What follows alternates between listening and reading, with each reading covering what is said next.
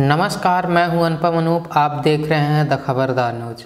आज 6 दिसंबर है और अब हम बात करेंगे आज के इतिहास के बारे में।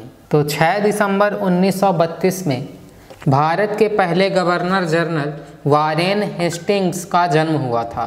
1750 में Warren Hastings East India Company के क्लर्क के रूप में कोलकाता आए और कुछ दिन बाद उन्हें कासिम बाज़ार का अध्यक्ष नियुक्त किया गया। रेगुलेटिंग एक्ट के तहत हेस्टिंग्स को 1774 में बंगाल का गवर्नर नियुक्त किया गया था। और इसी एक्ट के तहत कलकत्ता के एक सर्वोच्च न्यायालय की स्थापना की गई, जिसका अधिकार क्षेत्र कलकत्ता तक सीमित था। बारेन हेस्टिंग्स के अपने कार्यकाल के दौरान न्याय सुधारों के अंतर्गत जमींदारों के न्यायिक अधिकार खत्म कर दिए गए और 1781 में कलकत्ता में मुस्लिम शिक्षा के विकास के लिए एक मदरसा की स्थापना की गई थी। वहीं 6 दिसंबर की दूसरी सबसे महत्वपूर्ण घटना की बात करें तो 1956 में संविधान निर्माता डॉक्टर भीमराव अंबेडकर का निधन भी हुआ था। बाबा साहब एक बहुजन राजनेता, एक पुनरुत्थानवादी नेता भी थे। अंबेडकर ने अपना सारा जीवन भारतीय समाज की स्थिति, जाति व्यवस्था के खिलाफ संघर्ष में बिताया।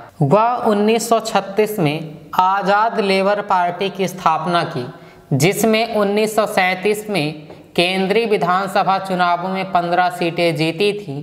1940 में मुस्लिम लीग ने अपने लाहौर अधिवेशन में मशहूर पाकिस्तान प्रस्ताव पास किया था। अंबेडकर की लेबर पार्टी ने पाकिस्तान प्रस्ताव का अध्ययन करने के लिए एक समिति बनाई। इस समिति के लिए दिसंबर 1940 तक अंबेडकर ने अपनी रिपोर्ट तैयार कर ली। वह पाकिस्तान और अ पार्टीशन ऑफ़ इंडिया नाम से प्रकाशित हुआ था। बाबा साहब ने भारत का संविधान दो वर्ष ग्यारह महीने और अठारह दिन में तैयार किया था। भारत का संविधान दुनिया में सबसे बड़ा बेहतरीन और शक्तिशाली संविधान माना जाता है, जिसे 26 नवंबर उन्नीस सौ उनचास को लागू कर दिया गया था। 6 दिसंबर 1978 में स्पेन के नागरिकों ने 40 साल के तानाशाही शासन के बाद लोकतंत्र की स्थापना के लिए मतदान किया था। यह जनमत संग्रह स्पेन के नए संविधान की स्वीकृति के लिए कराया गया था। नए संविधान में राजशाही के मौजूदा ज़्यादातर अधिकार खत्म किए जाने का प्रावधान किया गया था। हालाँकि इनमें से कई अधिकार स्पेन के तानाशाह जनरल फ्रैंको ने पहले ही खत्म कर दिए थे और स्पेन के राजा तात्कालीन जुआन कार्लोस और रानी सोफिया ने नए संविधान का समर्थन किया था। 6 दिसंबर उन्नीस सौ बानवे में अयोध्या की बाबरी मस्जिद तोड़ी गई थी। इस घटना के बाद भारत में भयानक सांप्रदायिक दंगों की शुरुआत हो गई। घटना की शुरुआत पहले मंदिर के आसपास एक धार्मिक जुलूस से हुई थी, जिसका आयोजन दक्षिणपंथी हिंदू संगठनों ने किया था, जिसमें देश की तात्कालीन मुख्य विपक्षी पार्टी, भारतीय जनता पार्टी भी शामिल थी।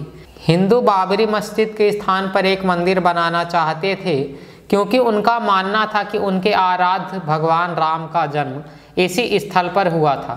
इसलिए उन्होंने बाबरी मस्जिद को ढहा दिया था। इसके बाद पूरे उत्तर भारत में सुरक्षा बल की तैनाती कर दी गई थी और हाई अलर्ट घोषित कर दिया गया था। जिसके बाद हुई केंद्रीय कैबिनेट की आपात बैठक में बीजेपी के नेतृत्व वाली उत्तर प्रदेश सरकार को मस्जिद की सुरक्षा में नाकाम रहने के कारण बर्खास्त कर दिया गया था।